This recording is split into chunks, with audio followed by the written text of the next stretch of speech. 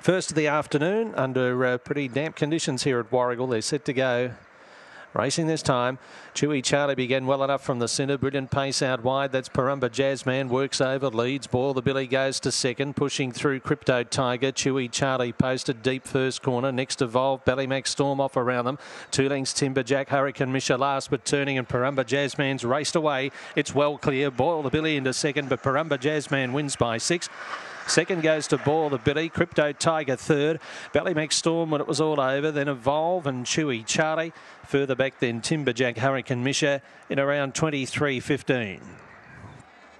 Well, the punter's got that one uh, spot on there. Drifted back to black figures. Fixed odds at the jump. Parumba Jazzman was 310 into about $1.90 and back out to 210 but has bolted in. Number seven is first for the Parumba Syndicate. Eddie and Mary Leish at Drouin West. Parumba Jazzman, too good. Number seven, the winner. Three will be second, Boil the Billy. Two, Crypto Tiger has run third.